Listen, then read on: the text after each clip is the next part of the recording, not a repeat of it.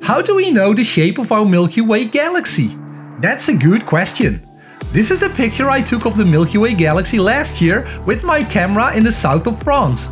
As we are in the Milky Way ourselves, we can only see a faint white arc in the sky, which is why we call it the Milky Way. Our spacecraft are not yet fast enough to escape the Milky Way to get an outside view. However, we can take pictures of billions of other galaxies that are in our night sky. For example, this is a recent picture I took of the Pinwheel Galaxy with my telescope from my backyard. And this is a picture I took of our neighbor, the Andromeda Galaxy. Most galaxies are spiral disc-shaped galaxies, so it is likely that our Milky Way galaxy has a similar shape. I wonder if there's anyone in the Andromeda Galaxy taking pictures of us. Subscribe to get more videos like this. Clear skies!